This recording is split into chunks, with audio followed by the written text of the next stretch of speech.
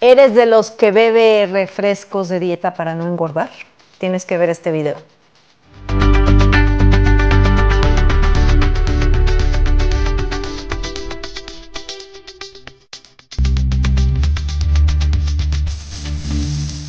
Los refrescos y las bebidas azucaradas en general aportan el 70% de los azúcares libres en la dieta de los mexicanos. Acuérdense que los azúcares libres son esos que hacen daño.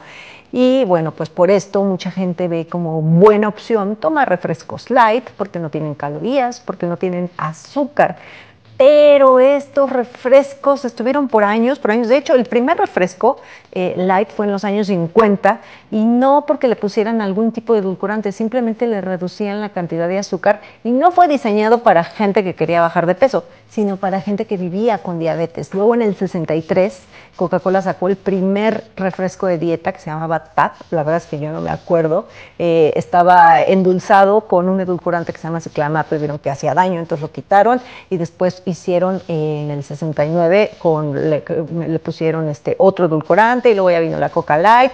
Y de ahí en los 80, en los 90 es cuando vino el boom de estos refrescos. Y en México yo creo que por ahí de los 90 y a la fecha sigue estando ahí en todos los aparadores del supermercado porque pensamos que beber ese tipo de refrescos es saludable. Para nosotros la palabra light, sin azúcar, sin calorías, es como, como algo de alto prestigio dietético, algo saludable.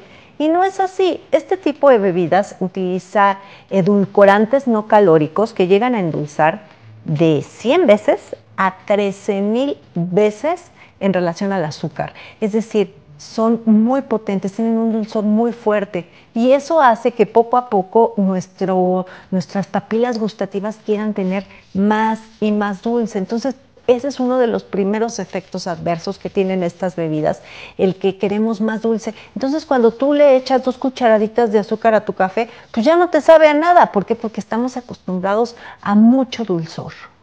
Según una investigación publicada en septiembre de este año, se asoció al consumo de bebidas azucaradas de refrescos y también los refrescos light con un mayor riesgo de mortalidad.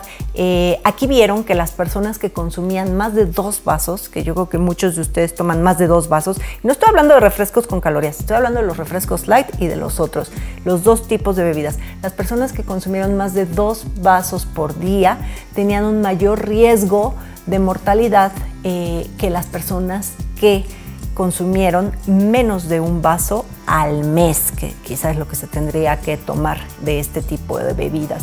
Y lo curioso me llamó la atención que vieron que eh, los refrescos light tenían más asociación con muertes de tipo cardiovascular y los refrescos azucarados eh, con enfermedades digestivas, de apéndice y también del hígado.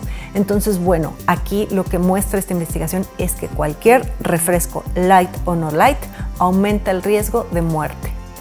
Por otro lado, se ha visto que estas bebidas sin azúcar o light te hacen comer de más ya que interfieren con centros de saciedad. Eso por un lado.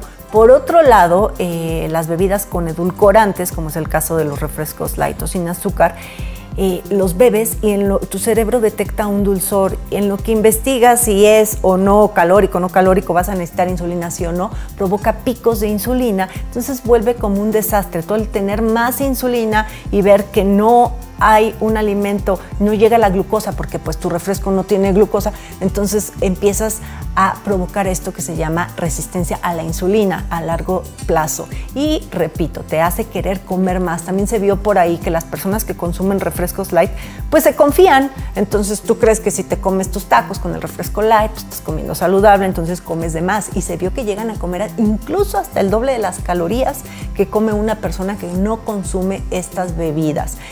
Y finalmente, otro de los contras que tienen este tipo de bebidas es que las sustituyen, eh, pues tomar su agua natural sustituyen por estas, estos refrescos y tienes una mejor ingesta de agua natural.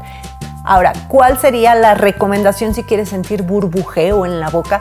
Pues quizá un agua mineral, este, un agua mineral a la que le agregues jugo de limón eh, o puede ser la naranjada. Recuerden que también los jugos son azúcares libres, pero bueno, de eso a un refresco yo preferiría una naranjada, una limonada sin azúcar agregada, este, o el agua natural solita, el agua con burbujas la pueden tomar. Hace poquito salió algo de que te rayan, no sé qué tanta cosa.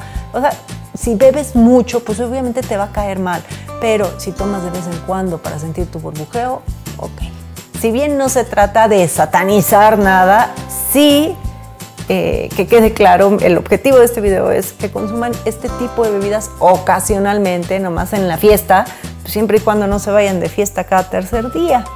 Eh, recomienden este video a quien vean que toma mucho refresco light eh, también suscríbanse a mi canal y no olviden que el bien comer es un placer.